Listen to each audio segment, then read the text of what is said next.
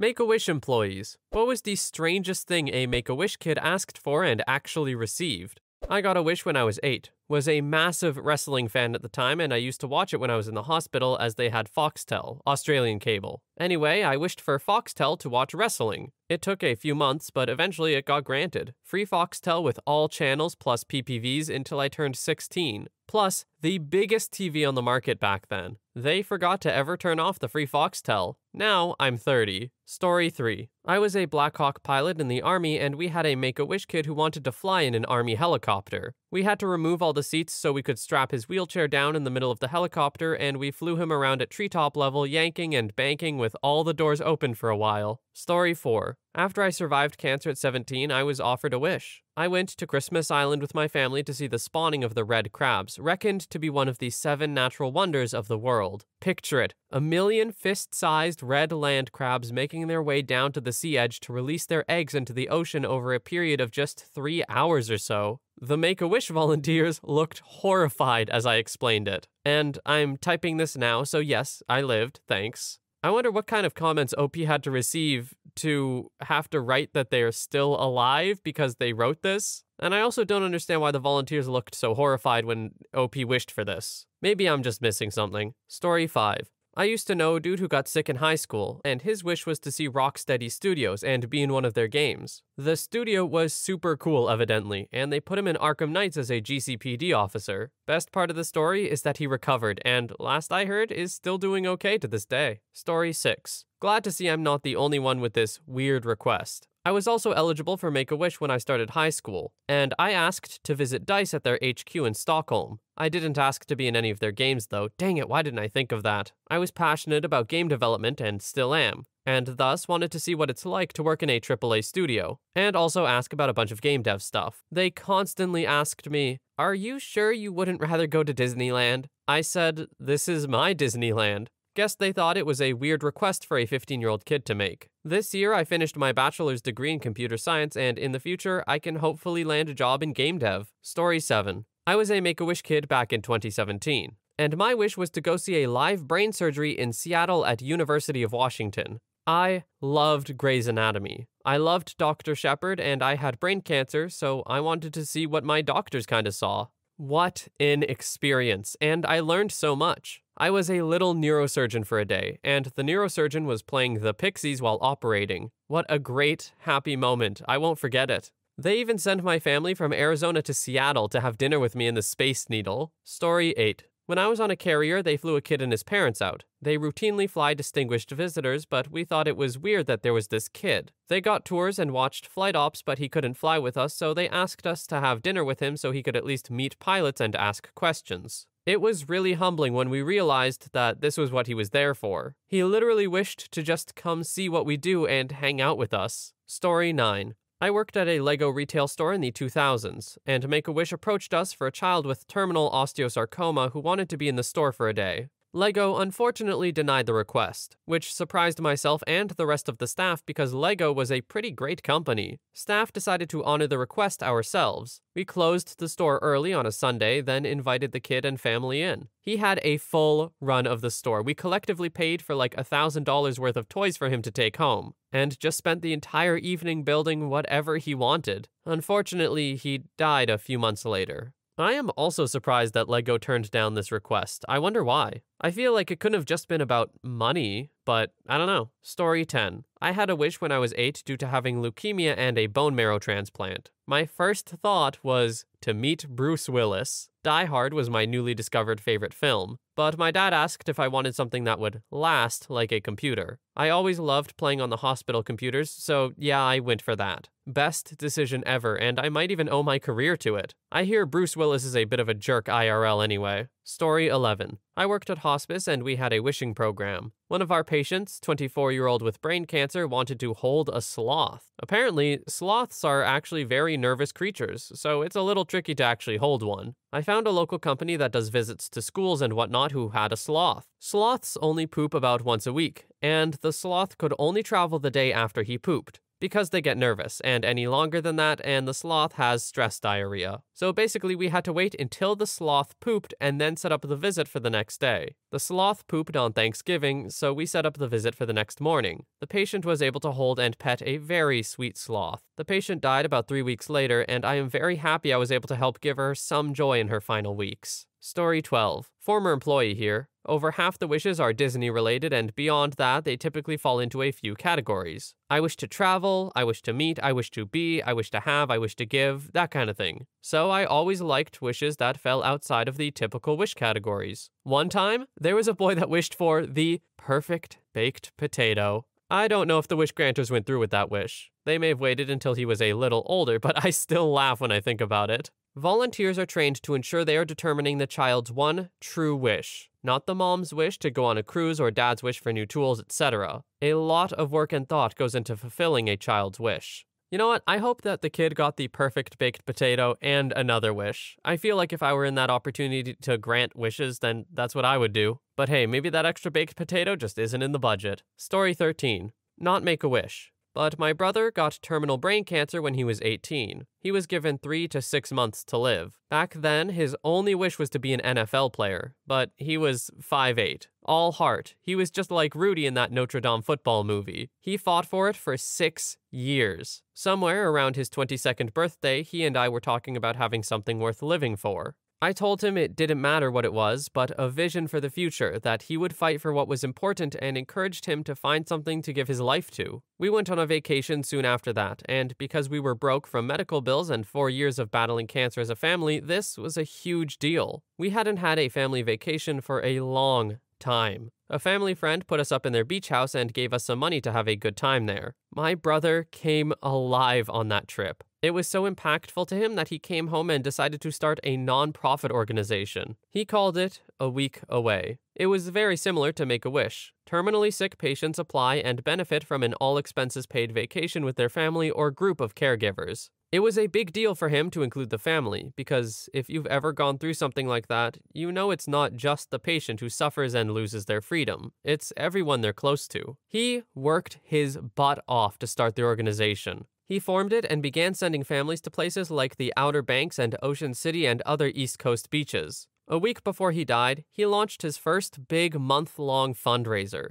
He passed away knowing that he had raised enough to send like 10 families on respite weeks. It was like he was passing the baton off to others who would keep on fighting. The org is still going strong today. If anyone is blessed enough to have their health and a sweet vacation spot you'd like to donate for occasional use by sick people, all coordinated by an awesome organization, I'd encourage you reach out to the A Week Away folks. You get to play a part in people's lives like the awesome people helping in these Make a Wish stories. Story 14. This wasn't Make a Wish, it was a local radio station, but I swear every single part of this is true. I probably still have the master tape. Around 25 years ago in the mid 90s, in the town I lived in up in the far northwest of Scotland, there was a community radio station. We were trying to set up a local radio station. So we had a six week run using borrowed equipment from Moray Firth Radio to gauge popularity and interest. Now, the first program in the evening after the news was one run by a couple of high school kids. We'd get a few kids in, they'd record a few idents and stuff, we'd run the idents, then at 5 past 5, their show would go up tunes they liked, shout outs to their friends, that kind of thing. They loved it. They had a blast, just tremendous fun. Now, there was one wee guy who was a wheelchair user who wanted to do a program, but he couldn't get into the studio because it wasn't wheelchair accessible. It was up a long flight of stairs in the old nurses' accommodation in the local hospital, and there aren't many wheelchair user nurses, and certainly not in the 50s when the hospital was built. He couldn't even be carried up the stairs because he had severe spinal problems that meant that his back, chest, and internal organs were pretty squashed, and he had to be moved very carefully. He was one very sick wee boy, and there was no way he was getting up into the studio. He was totally out of luck on that one. No, he wasn't, though, was he? Because it occurred to me that he could tape his program with one of the portable recorders we had, little Marantz high speed cassette recorders. Then he could give me a track listing and I'd cut it together, play it to him, and if he was happy, we'd play it out for him. Sure, he wouldn't get to do it live, but next best thing, huh? So we did. I dropped off the tape recorder, microphone, and so on, and a day later or so, I collected it from him with his running order, track list, and a stack of CDs. Perfect. He even sounded like he'd really bashed on his script and sounded pretty damn good. Copy the tape to quarter inch, copy the tunes to quarter inch, edit it down, and boom. Except he had a cold. A snuffy, snottery cold. Every sentence was punctuated with sniffs, snirks, snumps, just snotty noises. I can tell you now just how long a sniff is on tape. And also, cats absolutely love to play with all this brown ticker tape confetti you're flooding the bedroom with, where my editing gear was. And there were dozens of them. 18 hours of cutting, sticking, redubbing, finding a bit of dead air, just the right tone to fill the gap, cutting, sticking. But when his program went to air, he sounded frickin' amazing. So, just to save everyone's ears here, I decided to not narrate the like sniff and snirk in brackets that he wrote. You're welcome. But also, this is just such an amazing story and someone putting in a lot of work to really make a kid's, I don't know, life potentially. Just a nice, heartwarming story, which I guess I kind of expected here. Story 15. I used to be a wish granter, and one kid wished for his parents to become citizens. They were illegal immigrants, and it was a constant source of anxiety for the kid that they could be deported. Unfortunately, despite the name, Make a Wish can't grant everything, and they did try. They got a lawyer and everything, but it just wasn't possible. More than 50% of wishes are Disney, though. Story 16. I was a cancer kid, so know quite a few people who went through the process. I went to Yellowstone to camp and see a wild buffalo. I also volunteered at my local wish granting foundation. One very young girl wanted to go on a hunting trip. They sent her and her dad to a hunting lodge where she ended up breaking the lodge record for the largest buck ever shot. She wanted the entire thing stuffed. To this day, in her house, there is a massive deer, body and all, standing in her living room. Another kid really wanted to eat bugs because he was a really big fan of the Survivor shows. They had a chef come in and cook bugs from all around the world in various ways. He really enjoyed it. I also just want to say that a ton of kids want to go meet a WWE pro wrestler, and they're normally the kindest people. A lot of kids want to meet celebrities, and they only give them five minutes. But the wrestlers, they really try to make an experience. John Cena, in particular, was great. Apparently, Robin Williams was also the best wish granter. He would take the family out to eat, pretend to be the genie, take the kids to stores and buy them things, and if he was in their town, he would even try and visit. I never knew anyone personally that met him, but the president of the foundation said they very much mourned his loss because he was just so terrific for so many of their kids and their families. As if I needed another story to know that Robin Williams was an amazing human. Celebrities, and really anyone who dedicates their time to Make a Wish foundations, are just great people. Story 17. I was a Make a Wish child in my province. I've had brain cancer since 12 and still have it today. My initial wish was going to meet the cast from Hawaii Five-O in Hawaii, but then I ended up also wanting to get this MSI Aegis pre-built gaming PC. When I told them I wanted that, they said, You sure? Then I don't remember what happened, but it wasn't until I was 16 when I got my wish for a VR gaming setup, and I built my PC at Canada Computers right before the pandemic and the GPU shortage. Feels good, and as of now, my treatment is stable and I've only gone through radiotherapy two times. Only thing is, there isn't much space in my room, so having the base requirements for a VR play area is kinda sad. Hopefully, I can get a bigger area though, because I like playing in VR since it's nice. Story 18. I was a chef at a fancy steakhouse in Jacksonville, Florida.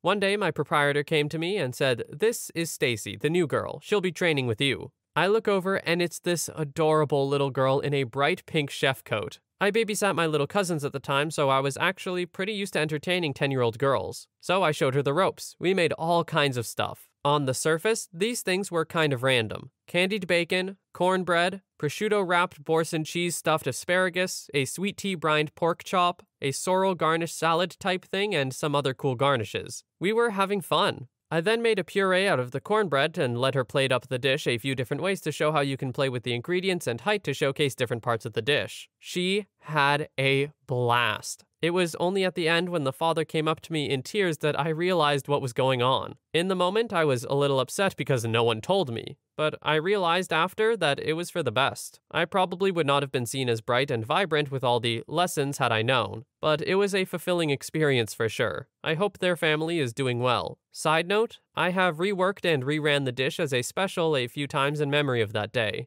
It was that impactful. Oh, it's just so sweet for OP to have a like lasting memory of that moment by making the dishes special. That's so cute. And even though no one else knows, it's still like a legacy. That's so cool. Story 19. I helped toast a visit to the planetarium by a kid whose wish was to go to the moon. The front office folks thought I could just give her a personal tour of the planetarium and show her some nice high resolution visuals. But I thought that she deserved better than that. I commissioned a jeweler friend and meteorite enthusiast to make a silver crescent moon necklace, which he graciously donated to the cause, and I donated a small lunar meteorite from my own collection. It was a gorgeous necklace, very much to the credit of my friend's artistry and generosity. We couldn't take her to the moon, so we gave it to her instead. She was thrilled, but later said that her real highlight of the trip was the astronaut ice cream. Ah, kids.